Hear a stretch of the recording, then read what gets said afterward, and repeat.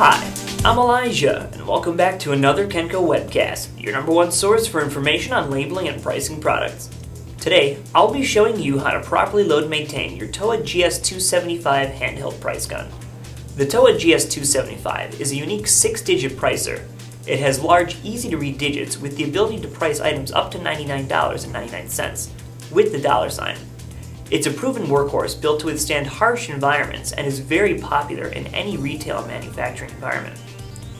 If you find this video to be helpful, please click the like button below. Before we begin, let's familiarize ourselves with several key components of the pricer. Let's pick up the gun with our left hand and take a look at the top. Right away, you will notice the printhead and the adjustment dial. Below, you will see the label housing assembly. This is where the labels will rest when the gun is properly loaded.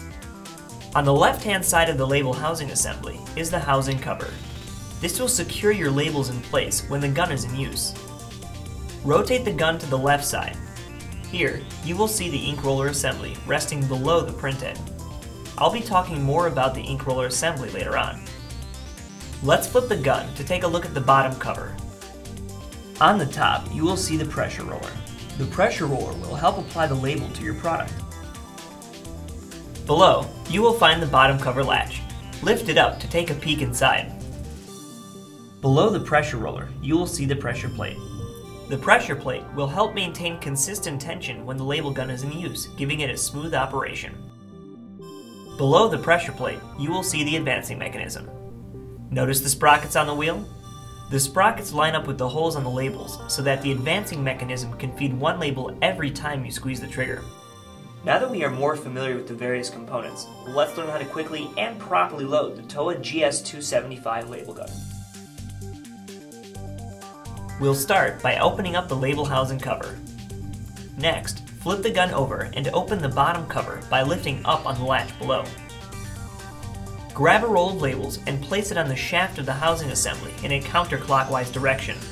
Then close the label housing cover to secure the labels in place.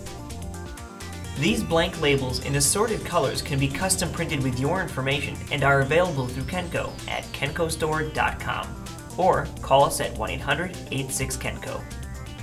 To make the next step easier, let's bend that first label about 30 degrees away from the label lining. Now we can begin feeding the labels into the gun between the pressure plate and the advancing mechanism. Pull about 4 to 5 inches through for the next step. Now, we'll need to feed the labels through the gap in the pressure plate. To make this a little easier, let's bend that first label inward towards the label lining. Once the labels are through the gap, pull them back down against the sprockets on the advancing mechanism. You'll want to be careful not to feed the labels around the pressure roller, as this would cause the labels to jam. When you rest the labels on the advancing mechanism, line up two of the holes on the labels with the sprockets.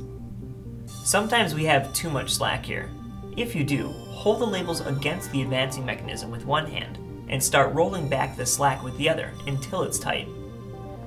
Close the bottom cover tightly until you hear it click. Now that the gun is properly loaded, we will learn how to adjust the price.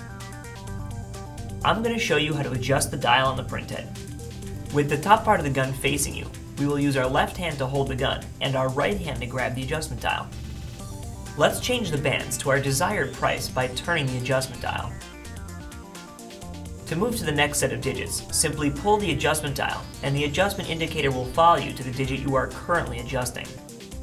To dial in a blank space, simply rotate the dial knob to the white blank space.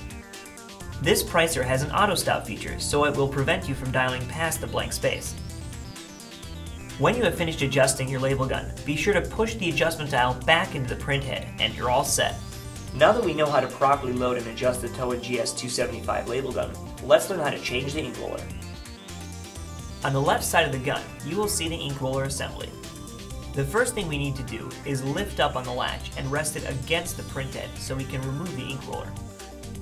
Flip the gun to the opposite side and push down on the ink roller itself. It should fall right off the ink roller rod. Once the ink roller is removed, we will get our replacement ink roller from its packaging slide it onto the ink roller rod, and snap it into place. Additional ink rollers can be purchased from kencostore.com. Secure the ink roller by bringing down the ink roller assembly latch to lock the new ink roller into place. Next, I'm going to show you how to adjust the print location if needed. For this part of the tutorial, we're going to need a Phillips screwdriver, size PH1. First, we'll need to loosen up the two printhead adjustment screws located on both sides of the printhead. You only need half a turn in a counterclockwise direction to loosen up each screw. Take care not to loosen the screws too much, as this may damage your pricer. Once the screws are loose, we can slide the printhead toward the front of the pricer to lower the vertical print position on the label, or back toward the rear of the gun to raise the print position. After the printhead has been adjusted, we can test the new print location. Once the print location is lined up to your satisfaction, let's tighten the screws to secure the printhead in its place. Now that it's printing perfectly, we are ready to begin labeling. To label an item, simply pick up the gun, squeeze and release the trigger once, hold the price gun directly over the product, then just roll the label on your product and you're all done. This has been another Kenco webcast. For more information and outstanding prices on these products, visit us on the web today at www.kencostore.com or call us toll free at 1 800 86 Kenco. For more product videos and tutorials like this, go to www.kenco.tv.